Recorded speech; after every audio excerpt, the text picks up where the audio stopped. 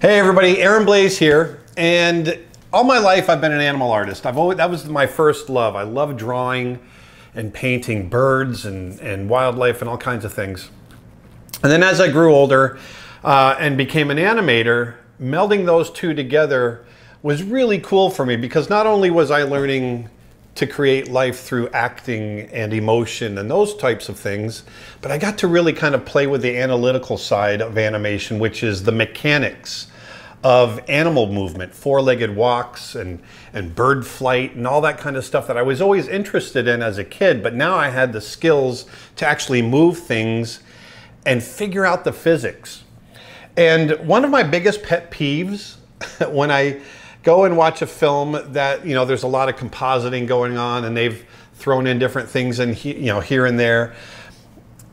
And I don't know why this is, but my and I, it's just be me be it's me being an animation nerd but um, a lot of times i see birds in the background that have been animated to kind of give the background life and they're really badly animated because someone didn't sit down and really think about the mechanics and so I thought I'd just do something real simple today and just talk about bird mechanics. I know it's really specific, but for me, um, I've always been interested in that sort of thing, and I thought you might might be as well.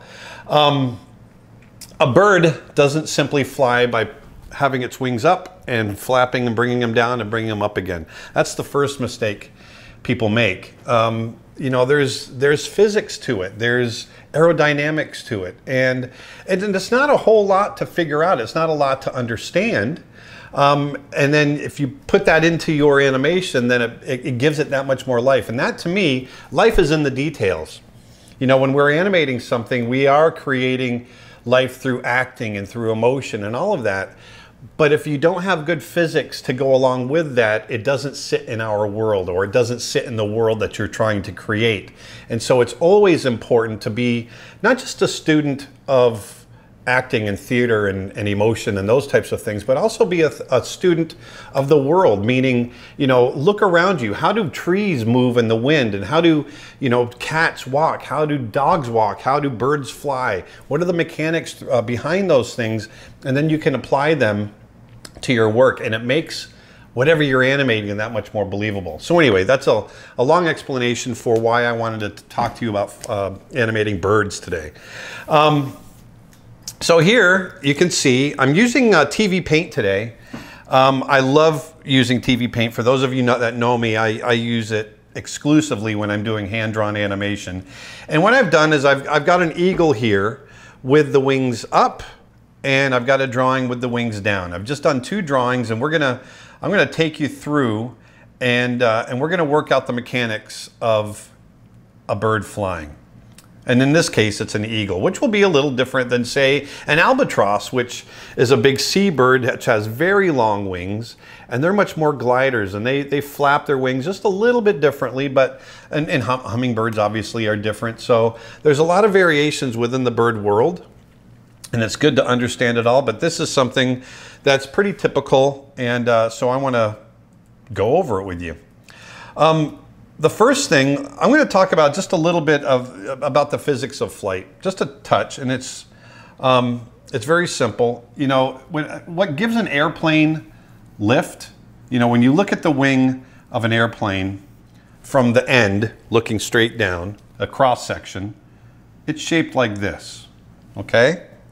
The reason it is shaped like that, and it gets it, you know, the inventors of flight got it from the animal world there's something that happens with this airfoil shape.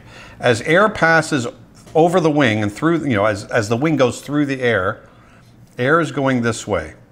And so as it flows under the wing, it goes basically in a straight line. But as it comes over the, over the wing, you can see that it has to travel a further distance. This curve creates a further distance that that air needs to travel. And what that does is it creates negative pressure. It creates a low pressure area above the wing, and then this becomes high pressure underneath.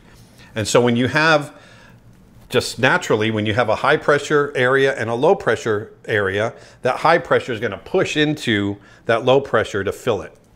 And so that's what happens here, and that's what creates lift. This high pressure pushes up against the wing to fill that low pressure and it creates lift. And that's how you get, very simply, that's how you get lift with flight.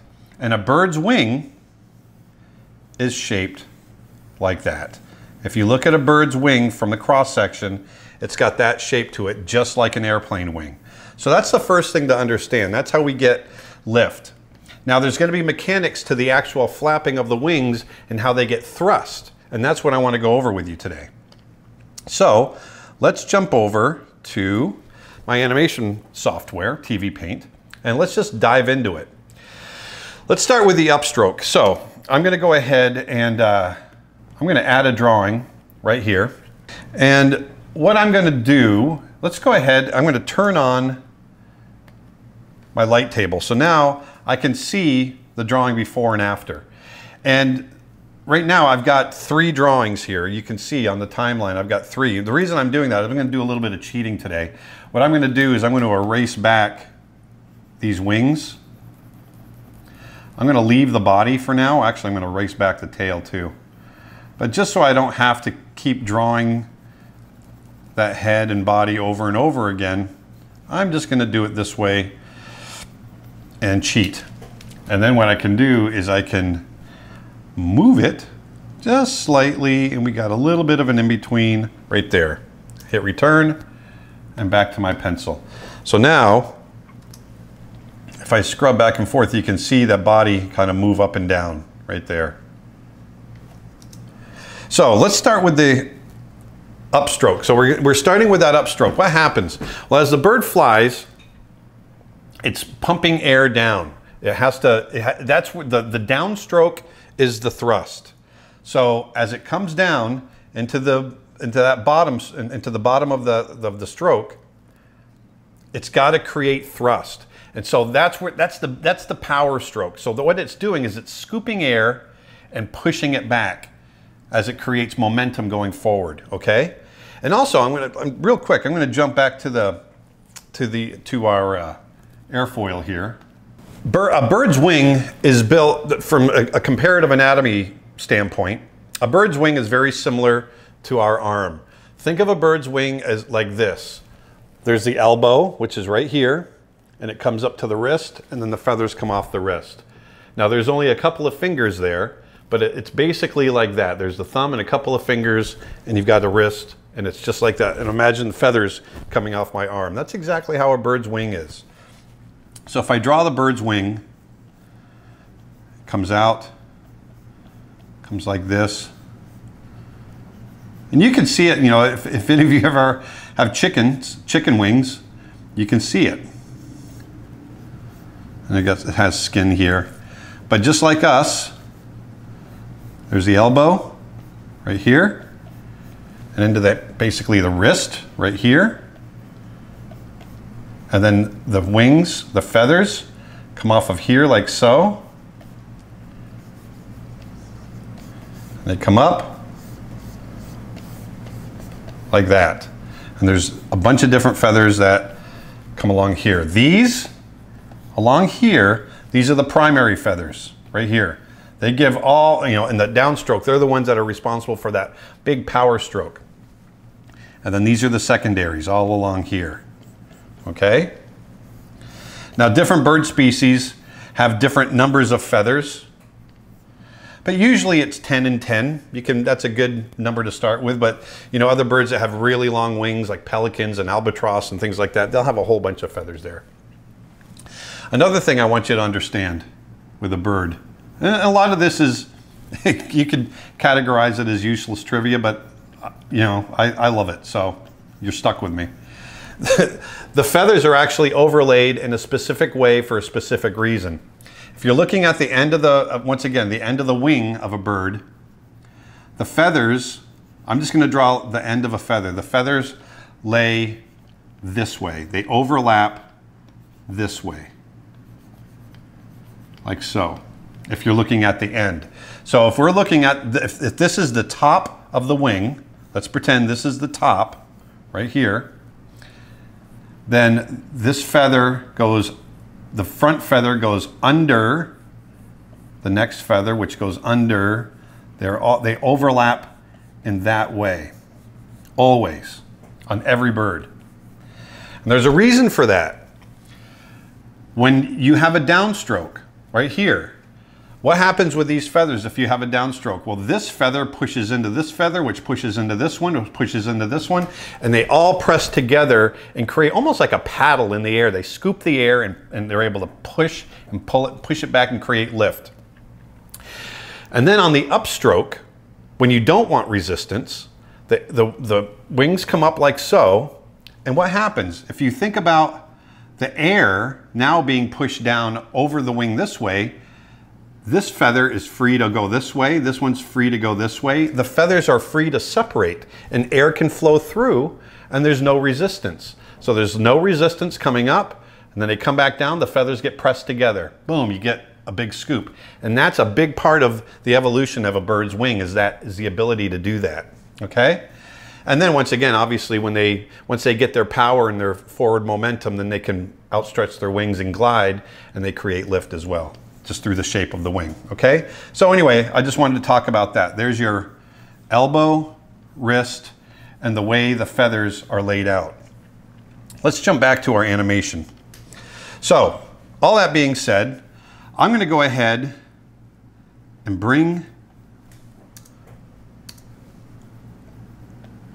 right here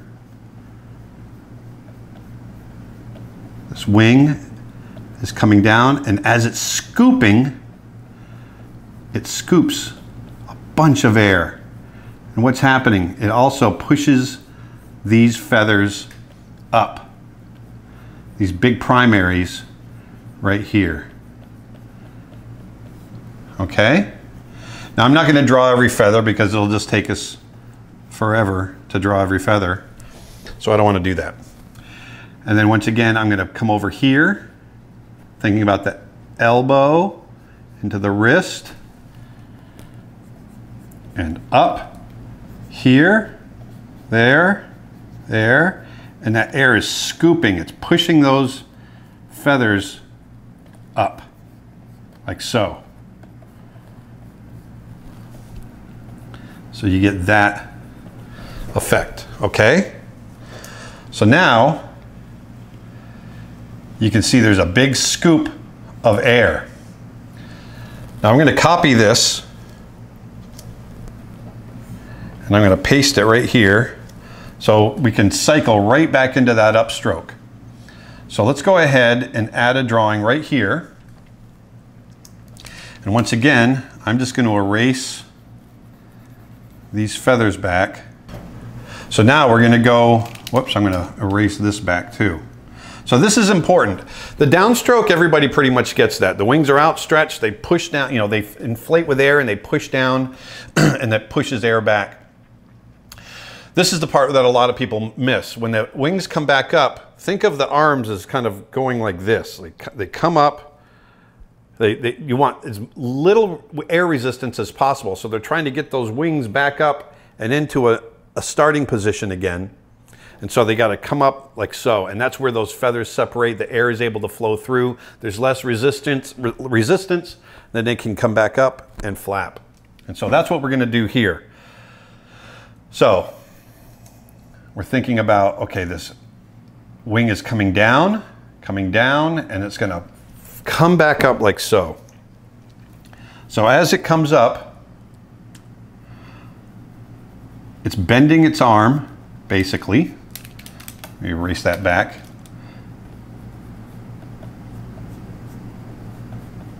Like so.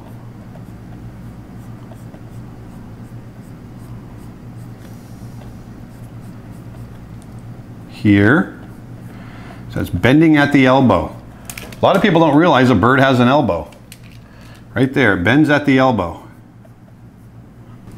So here, the feathers are going to start to come back in.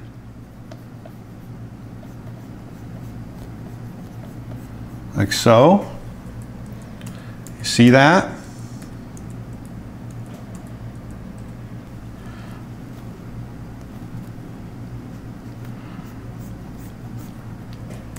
So here the wings are just starting to come up.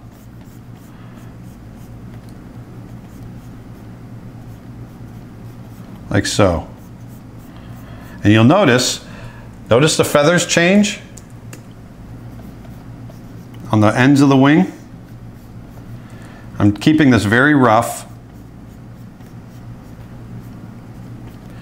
There.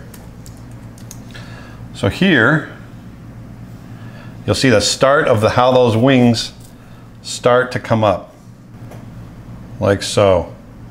Let's go ahead and add another one in there. We're just gonna keep adding drawings, and I'm gonna start, I'm just gonna keep talking about the mechanics as we, as we move up through. So let's go ahead and we'll just get a guy in there. And once again, I'm going to erase back these wings.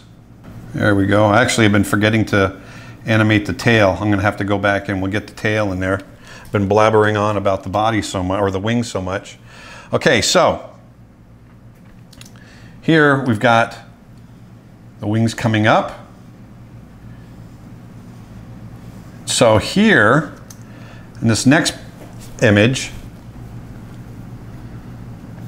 we come up, and I'm going to bring the wings back just a touch, bending at the elbow, just like that.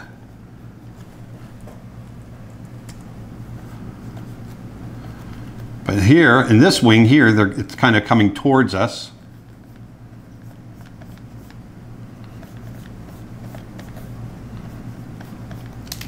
I'm going to erase this back.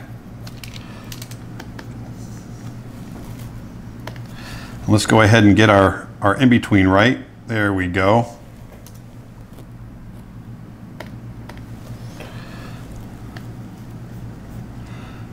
And here at the wrist, we're going to see this part of the wing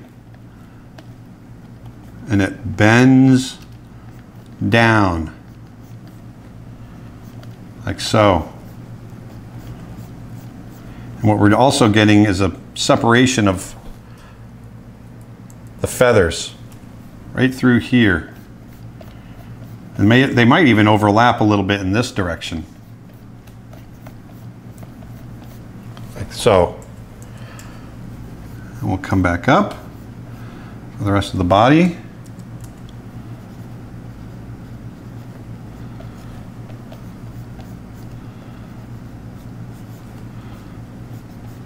A break in there.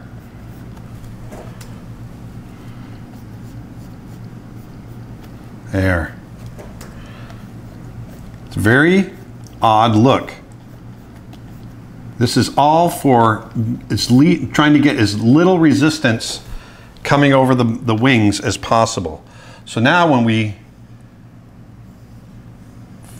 when we scrub through, you can see how those wings come up. We bend at the elbows, bend at the wrist. Let's do another one.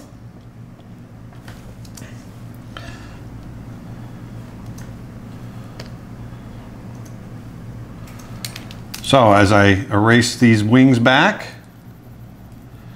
so now they can start in-betweening into that back to the beginning pose. We can start to in-between back into that beginning pose.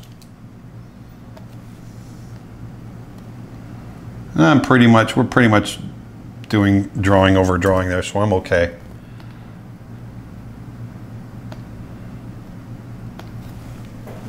Okay, so now we're gonna come up. There we go.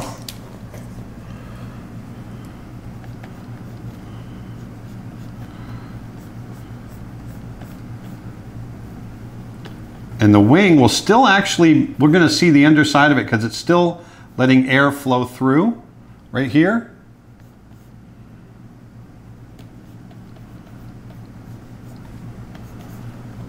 still bent this way.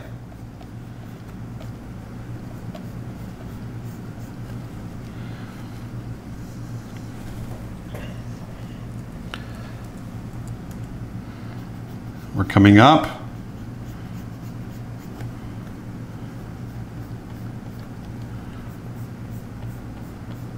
We're getting a little bit of overlap in there, like so.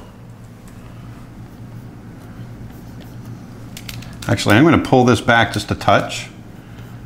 And I want to see, might see a little bit of feathers there. No. I'm just going to throw it in like so. So here, what I'd like to do here is I'm going to, I'm going to change this up a little bit.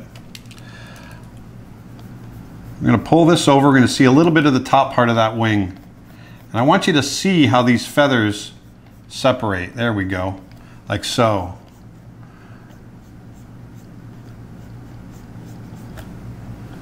There, there, and it actually starts to curl around. There we go. Separate that out. There we go.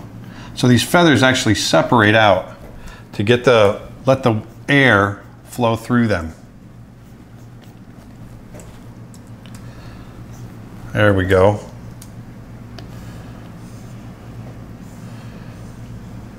Like so. Let's go ahead and add another drawing in there.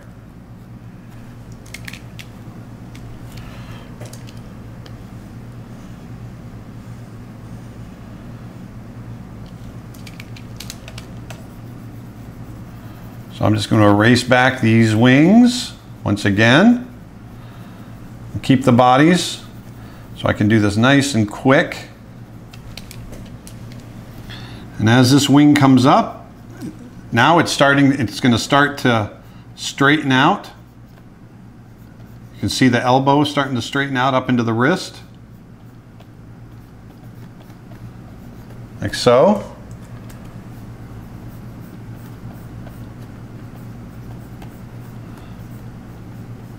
We're still getting separation of the feathers through here, through up here. Because there's still, you know, you want those feathers to separate as the wing is coming up. And it's going to be pushing down a little bit because the wings are pushing up.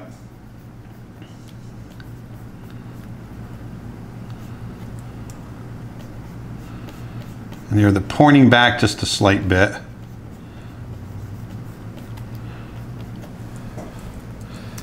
There, see there? Once again, I'm doing this very quickly.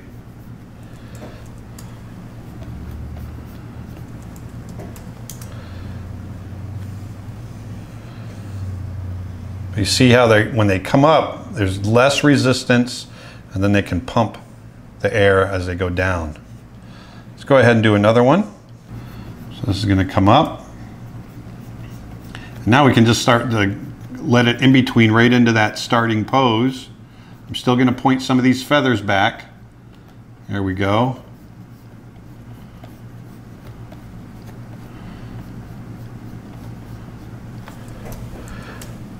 Bird flight. It's always fun to, to get the mechanics right. I always enjoy it because it, it it's like you're emulating you know, real world. It's it's uh, I don't know. It sounds geeky, but it's really it's really fun.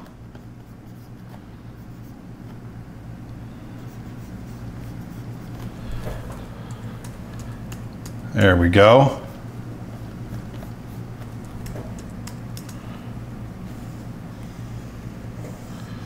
You can see those wings are coming up, getting ready to start pumping the air back down, like so. Let's go ahead and do another drawing in there because I'm going to have it slow into that. It's going up and it's going to push. So the wings coming up once again. And we're going to ease, we're going to ease into our starting position.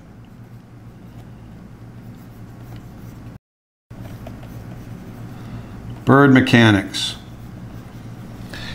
Who'd have thunk that something so mundane as making a bird fly could have all this stuff to it. And it's really not that bad. You know, once you understand the aerodynamics and all that, it's it's kind of fun to figure out and, and then emulate. There we go.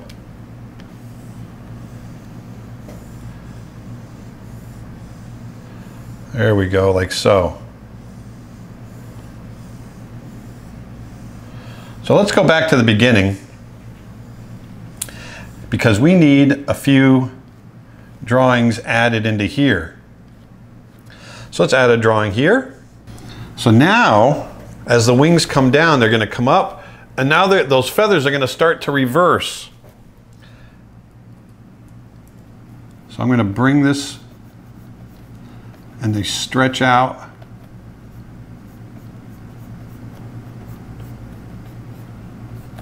See I'm reversing those feathers now? Because that air resistance is pushing them up.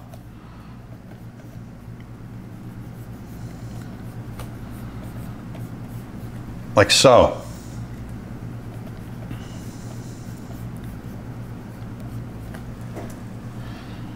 Same here.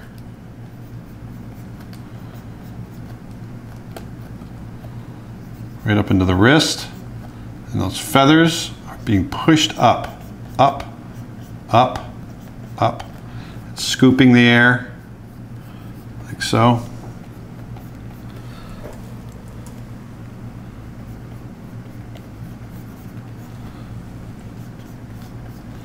Doing this very fast. There we go.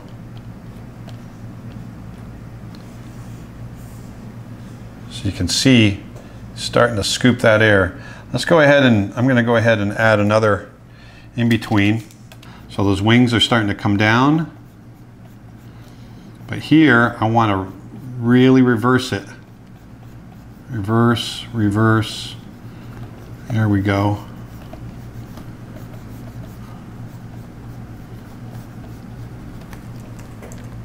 See how that reverses right there?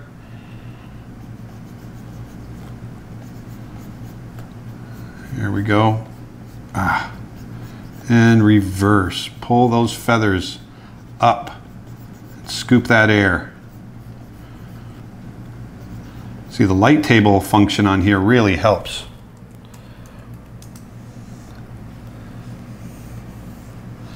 You can see that You can really feel that air now as he's flying. You can feel that, those mechanics. Go ahead, I'm to go ahead and add a drawing in here because it's going to be a little harder pushing down, so it's going to go down a little harder, I mean uh, a little slower. Now, we're going to really push. We're going to be looking right down the edge of this wing right here. But what we're going to see we're going to bring these feathers up right in here. You're going to get a reversal. It's almost like hyperextending your arm, you know. I want to follow a nice arc. You see I'm trying to follow a nice arc coming around. Oh, see, watch. I'm going to scoop that air. The air is scooping this way, and it's scooping there. because it's making a transition from looking underneath, from looking underneath to looking on the top. So we're making a nice transition right here.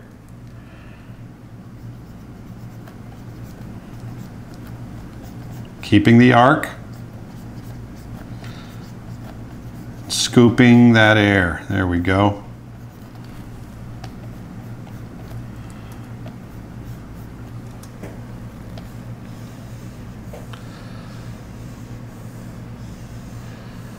just like so. You feel that, you can feel that reversal. Actually, this is an extra drawing because we have the same one here, so I'm going to go ahead and get rid of that. Because now we're, we're pretty much getting there on our cycle. We're going to be able to let this cycle through here in just a minute. But I want to, we're missing some drawings in there. There's a big jump right there, so I want to add a drawing in there. So these wings have got to come down into this bottom position. And we're going to get a big reversal on those feathers and a big scoop of air. It's really scooping that air. Like so. Here's the elbow, the wrist. Really push those feathers back. It's going to be the same thing here. Now what you're going to see here, look at this. We're going to see the feathers kind of wrapping around as this as this part scoops the air. Let's go ahead and get that tail in there.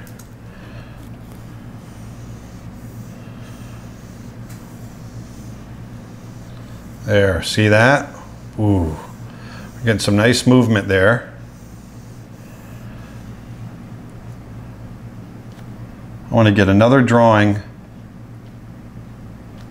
right here. Now let's just go ahead and draw that in. We're going to want to kind of slow into this. But those feathers are still being reversed. They're still scooping.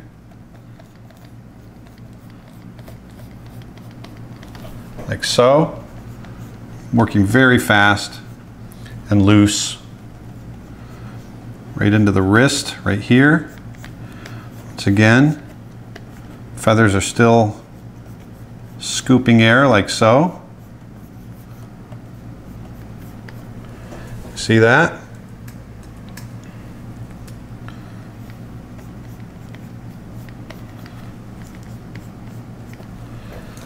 So before I play this, I think I want to try, I'm just, it might be too much, but I'm going to try one more drawing right in here.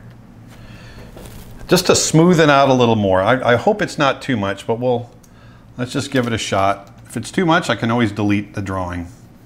But I really want you to feel the smoothness and the mechanics of this, of this flight. I'm animating it all on ones, meaning one drawing for every frame. All right, here we go. So here, and he's going to start to pull the wing up. And the reason I wanted to add this drawing is I want to get a little bit of a transition from the feathers being reversed one way to, rever- uh, to, you know being pulled this way to reverse the other way. So I want to feel that transition a little better. So it's you see that you can feel that transition into that a little better.